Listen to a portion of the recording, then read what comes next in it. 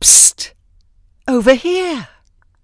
Yes, it's your Master Furniture Restorer book talking. I taught you how to restore your grandfather's old rocking chair.